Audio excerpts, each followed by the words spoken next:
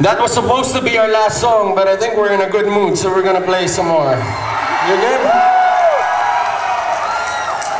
Before we go on though, I want to say thank you to some people. These are important people who made this thing happen, man. San Miguel, Red Horse, Cebu Pacific, Smart Pinoy, Pen Travel, 7,107 flavors.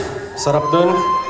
And of course, man, the guys who brought us all here, set this up, took care of us and the other bands, man. Lin Van Productions, they know how to do it right, right? You guys enjoying yourselves? Everybody out there?